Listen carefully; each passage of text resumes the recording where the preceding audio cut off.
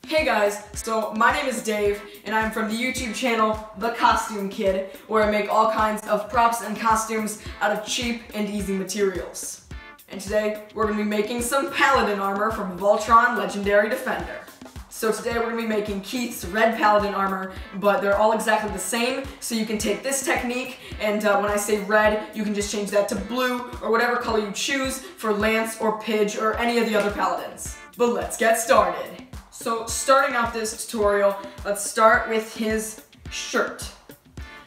I found this awesome black kind of athletic, like tighter shirt, long sleeve, at a thrift store, which is a super awesome place to get all your cosplay materials. So we're gonna be taking this shirt and building off of it with some craft foam. Now this is two millimeter thin foam. Uh, you could use a different version as well. Uh, you can buy this at any local craft store. It comes in sheets and an awesome roll like this. And uh, we're gonna be cutting this up, gluing it down, and uh, making some armor.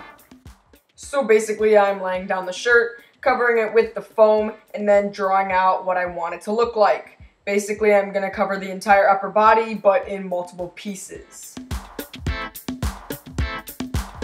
I'm gonna add the red detail here with some uh, red duct tape, then I think it'll look pretty good.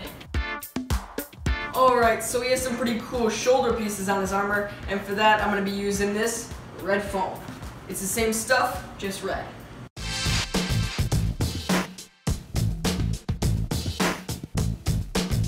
Alright, these red shoulder pads looking pretty awesome. Moving on to the back.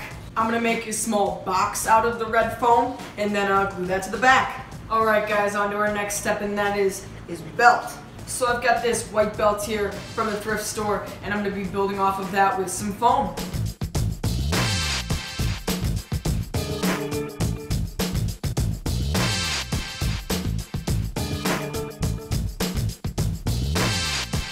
All right, that's it for this awesome looking belt. Moving on. So now we're gonna work on the arm and leg armor. For that, I'm basically gonna be making a tube that will fit a part of my arm out of the foam, and then adding some details to that with the foam. Also probably some duct tape or spray paint.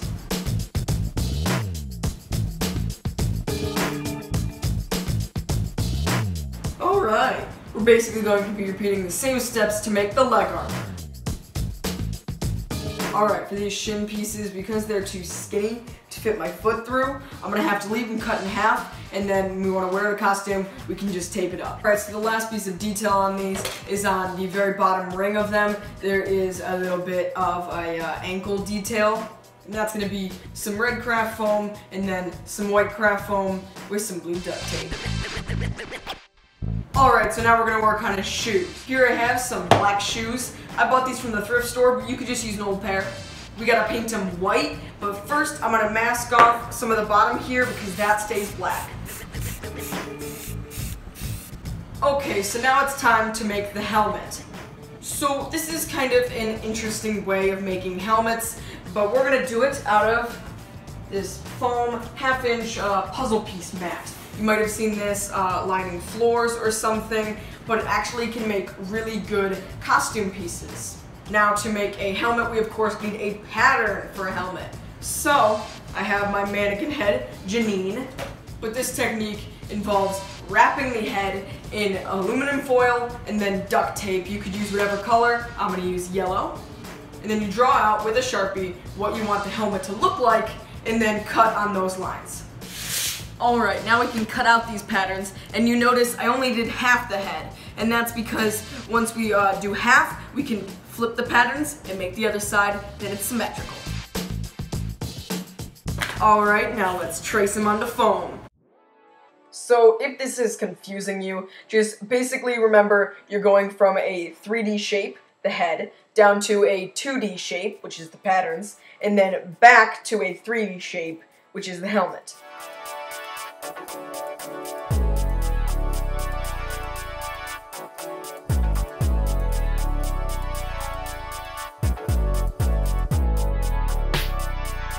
Alright, so our six foam pieces are done. Uh, now before we glue these together, I'm going to pass them over with a heat gun first, uh, just so we can get a little bit of curve out of them, and that way it'll be easier to glue and it'll give it a better final look.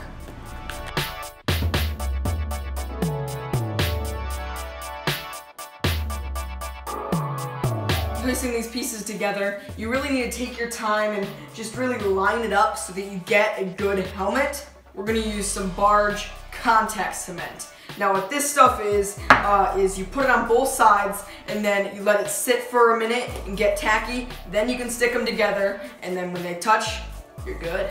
Alright, so my foam helmet is all glued together here. It looks pretty cool and it snugly fits the foam head here. Uh, the only problem is my head's a little bit bigger than the foam one.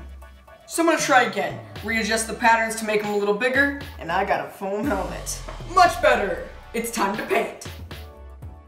Alright, so I painted it white, and then I took my time and masked off all of the part I want to stay white, and uh, once that's done, bring on the red spray paint.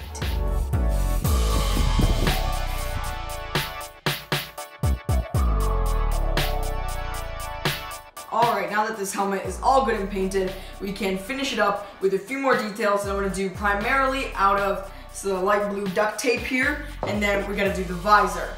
For that, I'm to use this little folder divider. Okay, so we got the cool blue visor here, looking pretty awesome, and I can still see fairly well. So that is it for the costume, moving on to the sword. Okay, so each paladin has their Bayard, and for Keith, his is an awesome red and white sword. So that's what we're gonna make.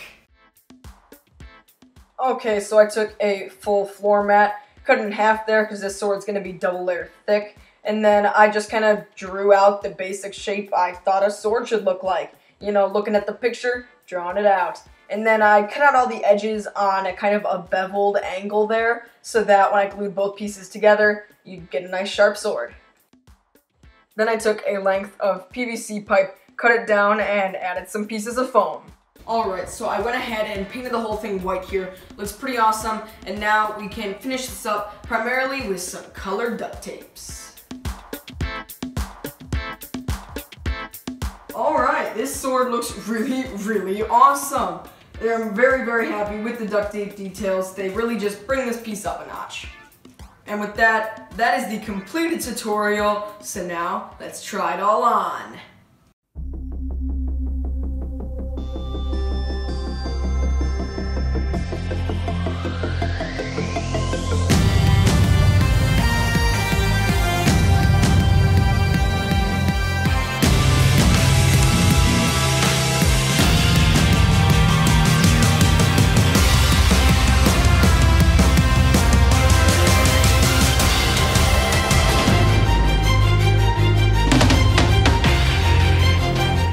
Thanks so much for watching. I'm Dave from the YouTube channel The Costume Kid, so go check it out. Click right here to subscribe to DreamWorks TV, and over here to watch more Voltron videos. See you next time.